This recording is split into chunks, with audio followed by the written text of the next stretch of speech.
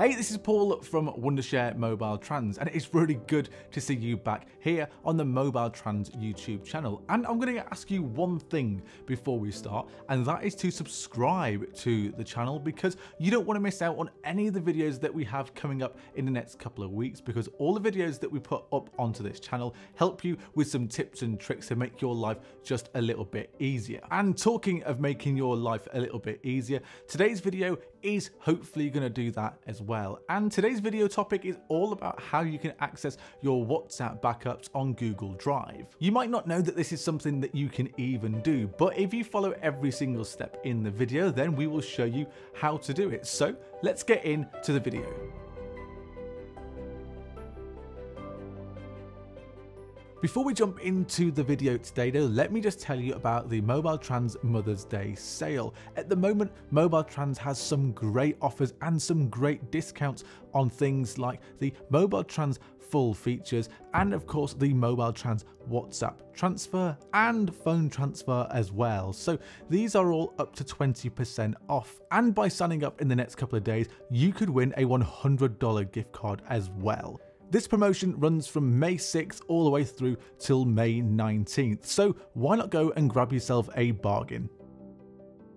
Like I said, this whole video is going to help you access your WhatsApp backups on Google Drive, and if you're an Android user, then you might be looking for this exact help because you might have your WhatsApp backup somewhere on Google Drive and just might not know how to access them. The first thing though that you'll need to do if you have WhatsApp on an Android phone is you'll need to back up that WhatsApp to Google Drive first of all and it is really easy to do that so just follow these really quick next steps. So the first thing that you'll need to do is go into WhatsApp of course, go over to your settings, then head over to chat and then you should see an option that says chat backup. Then all you need to do, as you might have guessed already, is just click on backup now. And this is where you need to make sure that your Google account with Google Drive is linked to this WhatsApp. And before you back up, WhatsApp should ask you what Google account you'd like to back up to, so that is nice and easy and straightforward. But obviously you want to know how you can access your WhatsApp data on Google Drive, so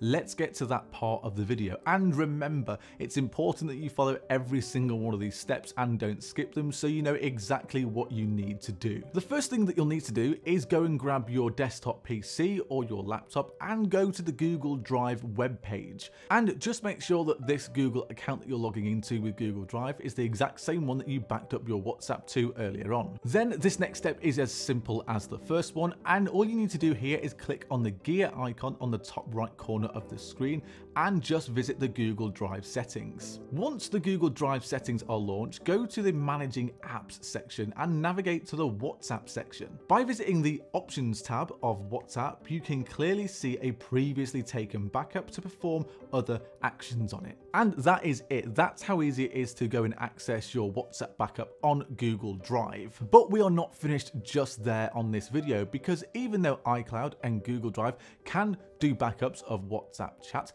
it isn't really that easy or that readily available to us. And to overcome this issue and make your WhatsApp chats really easily available as a backup, then there is a third party piece of software called Mobile Trans WhatsApp backup. And if you've not heard of this before, then what it can do is take an extensive backup of WhatsApp with just a single click.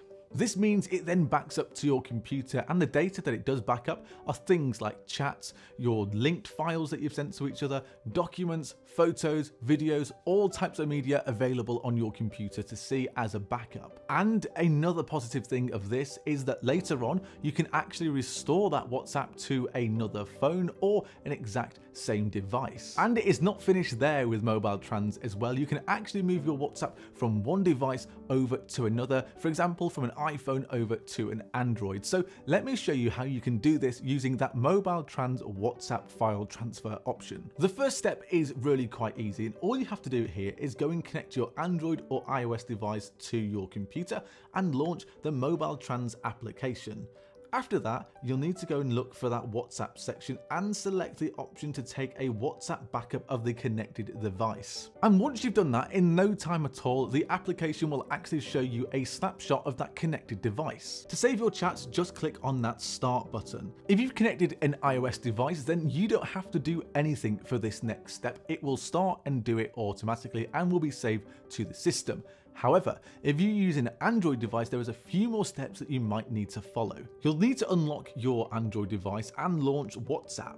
Then go to the app settings, go to chats, chat backup, and tap on backup. The backup button will then take a local backup of your WhatsApp chats.